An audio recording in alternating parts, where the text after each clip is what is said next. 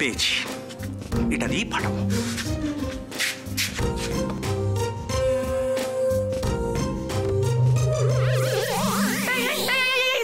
দেখো, সব ছড়িয়ে ছিটিয়ে একেবারে একাকার করেছে।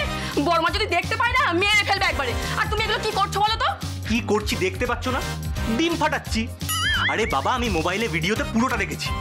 কেক বানাতে ডিম লাগে। হায় কপাল আমার গো। এইভাবে কেউ ডিম ফাটায়?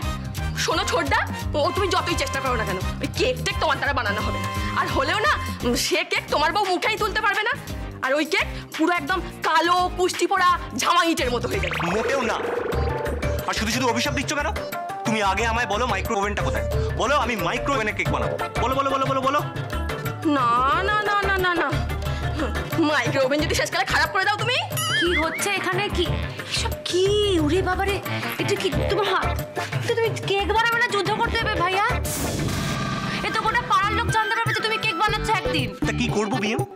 এই যে বাসন্তী কি খারাপ অ্যাসিস্ট্যান্ট একে দিয়ে হয় না? যা বাবা এখন আমার দোষ হয়ে গেল।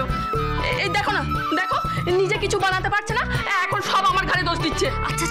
বাবারে তুই আমার কান ছালাপালা করে দিস না তুই যা আমি দেখে নিচ্ছি। দূর বাবা ভালো লাগে না। ভীম ভীম শোনো না আমি না কেকটা গোল বানাবো না। আমি বেশ একটা হার্ট শেপের কেক বানাবো। আচ্ছা কিন্তু ভাইয়া তার জন্য তো আলাদা মোল দরকার ছিল এটা তো গোল বাটি তুমি তো এতে পারবে না বানাতে। তুমি একটা কাজ করতে পারো কেকটা বানানো হয়ে গেলে তুমি ছুরি দিয়ে হার্ট শেপ ভাবে কেকটা কেটে নেবে ওরকম।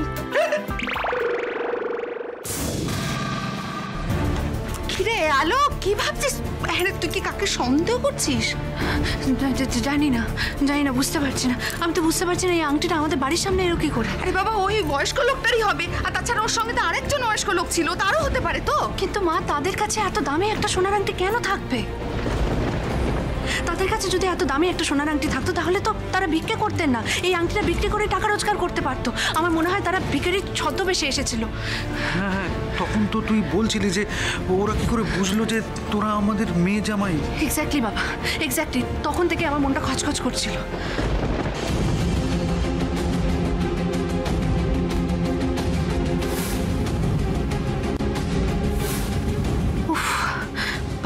আমার বাবানের কথাই কেন মনে পড়ছে? বি ফর তবে কি বাবান? না না। না, আমি কেন শুধু শুধু এইসব ভাবছি? এসব বেসলেস ভাবনা কেন ভাবছি? তাছাড়া তাছাড়া আমি তো কখনো বাবানের হাতে এরকম আংটি দেখেছি বলে আমার মনে পড়ছে না। না না, আমাকে আংটিটা যত তাড়াতাড়ি সম্ভব বাড়িতে নিয়ে গিয়ে সবাইকে দেখাতে হবে। বিশেষ করে কাকিমণি আর ছায়াকে। হ্যাঁ রে মা, কি ভাবছিস? কিছু না। আমাকে আমাকে এক্ষুনি বাড়ি যেতে হবে। এক্ষুনি আমাকে বাড়ি পৌঁছতে হবে। এই আংটিটা আমার কাছে থাক কেমন? মা শোন শোন। আমি তোকে এগিয়ে দিয়ে আসছি। তুই একা যাবি না। না বাবা তোমরা কোথাও যাবে না। তোমরা বাড়িতে থাকবে।